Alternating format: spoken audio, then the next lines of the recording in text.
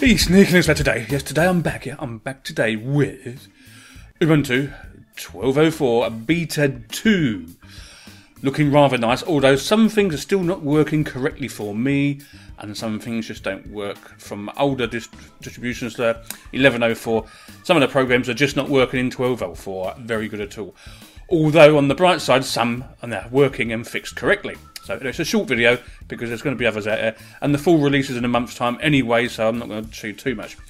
You got your dash home, so you can either click it, or on the other hand, you can click your super duper button. You know the one, the super duper button. So here's the stuff I've got already. I've installed some stuff here. Kazam I've installed. I'll open it up for you. Right. Kazam, I'm afraid, just does not work for me at the moment. It's just not doing it. It's just, the, the actual quality is terrible. It's fuzzy and everything else. So I'm hmm, I'm not liking it very much at the moment. Okay, at the moment. Okay. So we'll get rid of that and we'll quit that. What else has I got over here? anyway, back to my dash. Yes. AbiWord installed, just make sure it all worked. So we'll open them up and see what happens. Five, four, three, two, here it goes. But it's a real install on the real machine, by the way. I forgot to tell you, it's not in VirtualBox. But the version we're using at the moment for AbiWord on 1204 is 292. So that's one of the most current ones, yes. I would do the Ubuntu one, but I'm actually testing it for them at the moment as we speak on another machine. So yeah. So anyway, AbiWord all works, all fine, hunky dory. I'm not sure if I like the way it, it looks, really, to be honest with you. But hey, once it's full screen like that, it's no big deal, is it? It's lovely jubbly. Okay, as you can see, I've got my old uh, bar hiding and not hiding, hiding and not hiding and stuff like that. You get LibreOffice fully installed here for you before you even start. I'll show you Ubuntu Software Center. It's changed again. I'll tell you what, 1204 has not been as buggy as all the others. No, most of them have always been really, really buggy. But I could, in theory, just use this beta and use it, and nothing would happen too badly. So I don't think really. So here we are. It looks all nicey, hunky dory. The old Software Center. Everything's here. You can install loads and loads and loads and loads and loads and loads of stuff. Yes, you can. Sound and video. Is there anything new? There will be a new video editor available when it comes out for full release called NovaCut. Remember? NovaCut. If I scroll down, I doubt it'll be here because they're still playing with it. Uh, um, no, it's not here, as you can see. Not there whatsoever. But, yes, that will be in the, in the new, uh, when it comes out in a month's time, that will be here ready for you to use. There's plenty of stuff in here. There is a lot, lot, lot more pay stuff. Yes, pay not really into pay really, but it is if you want software that badly, you'll use it, won't you? Although, if we go to games, there should be some uh, some really good stuff. So oil rushes. See if that's in here. Hang on. Oil rushes here. It is twenty dollars. That's about twelve quid, but it's a super duper duper game. Oh yes, indeedy. For Linux, Mac, and Windows. Was it for Mac? I'm not sure. But it's really, really good. There's lots of videos out about it. I first done a video about it only two years ago when they first started developing it, and it's been out for a little while now, and it's super duper. Yes. Anyway, that's a software center. That's nice. Okay, got Ubuntu One for all your Ubuntu One stuff. System settings. So if I click on system settings, you'll see what I mean. It's all nicely laid out this time. It's not over cluttered. It's going to take you some time to get used to it, I think, personally. But hey, it's alright. Yeah, it's alright for me.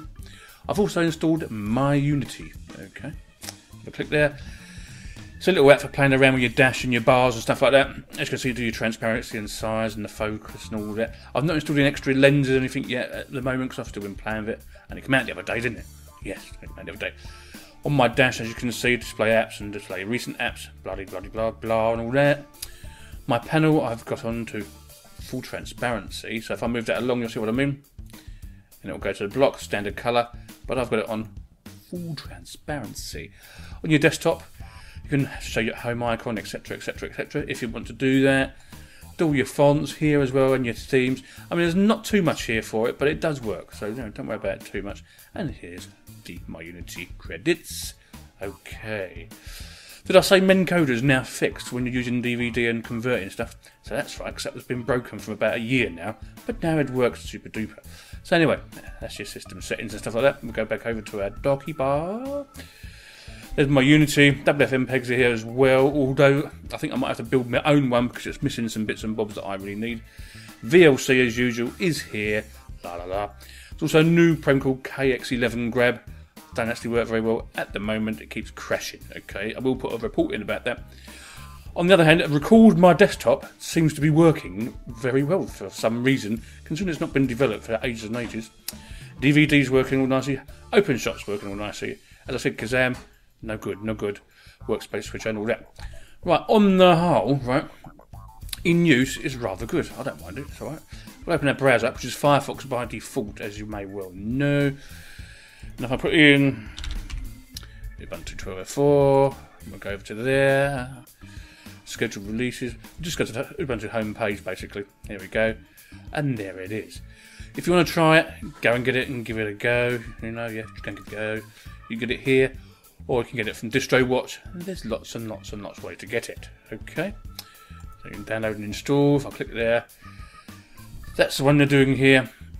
Let's go to a different page to get the 1204, wherever I was on. I don't know what I've done there. I've gone to the wrong page and went the wrong way. If I go back, we can soon see where I went wrong. Oh, yes. Let's have a look there. That's probably the way to go. There we are. You can go and get it around here. Super duper. Okay, so that works. Have I installed Flash? Yes, I have. And it works all fine for me anyway. It does for me. Flash works fine. Although it did go a bit of a bum on the 1110 distribution. I've got another machine. Didn't work very well. So, yeah. Anyway, that's enough of that. That's enough of the browser. On the whole, 1204 Beta 2 is going to be very, very nice. Super duper. I'm liking it. Are you liking it? It's alright. But, you know, you may want to try Solus or some of the other distributions that are out there all come along at the same time. Sneaky. Linux going out. I see you later. Bye bye.